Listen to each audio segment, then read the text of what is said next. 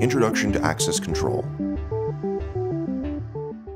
Access control is the combination of hardware and software that controls access to entry points of a secure structure or property. It can be used for commercial or residential applications. The purpose of these products is to manage and grant access for individuals to specific areas on a predetermined schedule.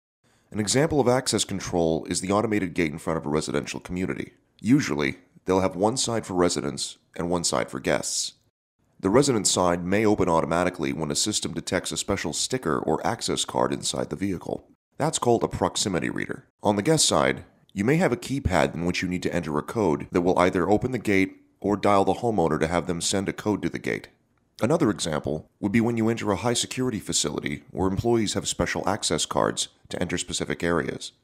Access control can be broken down into five main components. Number one, access control panels, the brains. Two, the readers. Three, the device being detected. Four, the entry and exit hardware. And five, the software. Part one, access control panels. Access control panels are essentially the brains of the system. Usually, the panel is made up of a circuit board inside an enclosed box, along with a power supply. Sometimes there is a battery backup as well. The number of access points or doors you can control depends on the capabilities of the specific access control board you use. Many come as a standard configuration, but can be upgraded as your needs change. For example, you might buy a four door access control board that can be upgraded to control up to eight doors at a later time.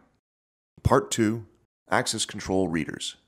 These readers can detect a person who has a compatible device on them, such as an access card or key fob. Depending on the equipment, it can detect devices at varying distances. In some cases, the user may have to physically swipe a card. In other cases, it may be able to detect them at a distance. Unlike proximity readers, keypads require the user to type an access code directly into the unit. Fingerprint and facial recognition readers. Also known as biometric readers, these can recognize a user's fingerprint to determine appropriate access for that person. IDTECK's patented technology actually maps specific points of the user's finger for greater accuracy and security. Long range readers. These types of readers are typically used for outdoor applications, such as vehicle access. They are capable of detecting a long range access card at much further distances than proximity readers. Access control standalone readers. Many readers are required to be connected to an access control board to utilize software in order to function.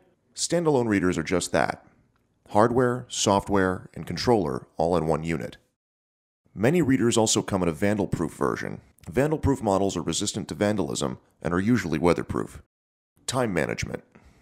Many companies also use their access control system as an employee time clock or payroll management system.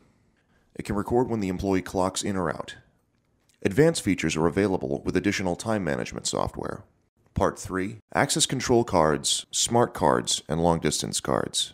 Most commonly used as a detection device is the access control card. Access control cards come in many forms. All of them hold information about the user and their access rights. They communicate with the reader through an RF frequency. The range that the cards can communicate and the amount of information that they can hold depend on the card specifications. Smart cards are similar, but also hold extra information about the user, such as medical info, or can even be used as an employee debit card. Fobs are basically the same as access cards, but can be used as a keychain. Some even have LED lights and sounds that alert the user if they've been granted or denied access. An alternative to access cards are key fobs. Stickers can be put on the back of a phone or any other object someone carries around most of the time. Part 4 Entry and Exit Hardware. Once the user has been granted access, it must send a signal to the door to unlock it. In this case, the door must have special equipment that works with the access control system. The two most common mechanisms are electric door strikes and maglocks. Electric door strikes. These will replace your existing door strikes. They are electric powered and will automatically unlock when the user is granted access. Magnetic locks.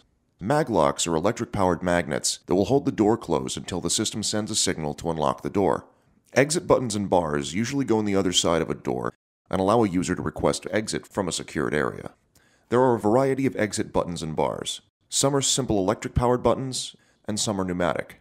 Pneumatic buttons do not rely on power, so an exit is possible even when power isn't available.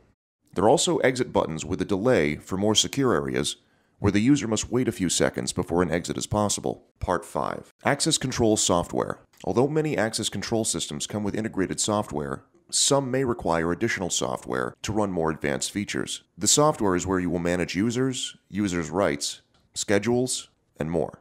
Many systems also have add on software such as time and attendance, visitor management, and video management. For more information on access control hardware and software, just go to our website at securitycameraking.com.